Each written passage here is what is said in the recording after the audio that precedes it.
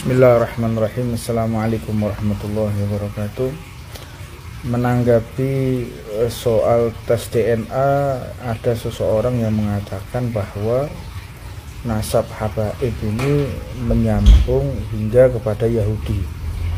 Maka saya benarkan itu. Penelitian pakar genetik yang mengatakan Nasab habaib ini mirip dengan Yahudi. Betul saya setuju karena apa? Lihatlah nasab Rasulullah Shallallahu Alaihi Wasallam. Sebagaimana dikatakan bahwa Nabi Muhammad ini memiliki nasab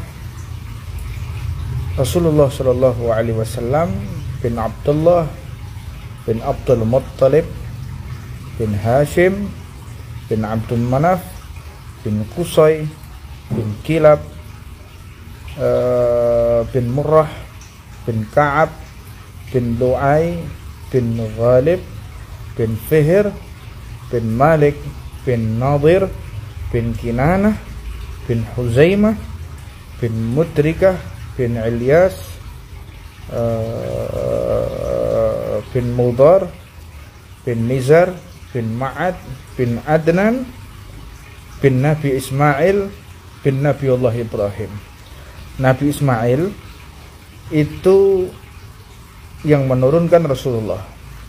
Sedangkan Nabi Ishak yang menurunkan Yahudi. Jadi ada hubungan kekerabatan memang sepupu.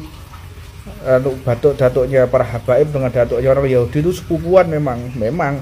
Jadi kalau ada penelitian bahwa habaib itu mirip dengan gen Yahudi ya betul bahwa pancen memang sepupunya kok ya jadi sudah betul itu orang mengatakan bahwa habaib itu mirip dengan Yahudi kalau ditarik ke atas genetiknya. Betul, penelitiannya betul dan bahwa nasab itu memang betul. Cerdaslah dengan ilmiah. Wassalamualaikum warahmatullahi wabarakatuh.